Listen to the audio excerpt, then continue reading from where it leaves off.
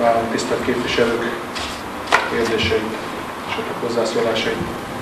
20 napi rendi pontot tárgyalt Tamási város képviselőtestülete legutóbbi ülése alkalmával, ahol a városi rendőrkapitányság munkájáról, a közrend, közbiztonság helyzetéről is szó esett.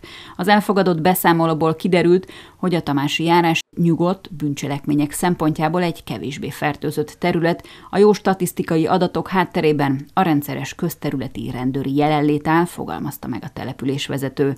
A Tamási Városüzemeltető Kft. 2022. évi munkájáról és gazdálkodásáról is elhangzott a beszámoló az ülés alkalmával. Jó volt látni a beszámolóban, hogy kisebb nyerességgel tudott zárni a, a, a cég.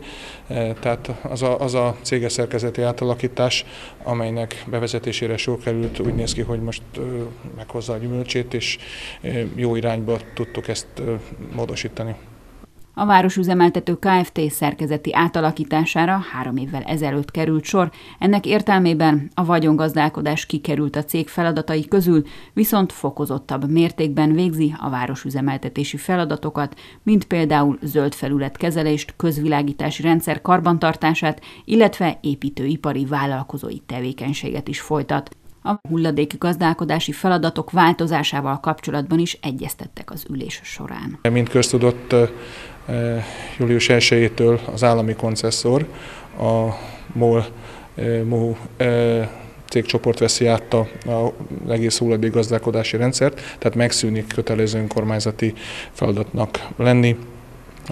Így az önkormányzatnak majd a szükséges döntéseket ebben kapcsolatosan meg kell, meg kell hoznia, a vonatkozó rendeletet majd június 30-ig, de ez majd a következő testületülésnek lesz a feladata. Tamási város számára az a fontos, hogy a szolgáltatás minősége a jövőben se változzon, valamint hogy a városban működő hulladékudvar továbbra is a lakosság rendelkezésére álljon, csak úgy, mint az ügyfélszolgálati iroda. Az idei évben ez biztosan nem fog változni.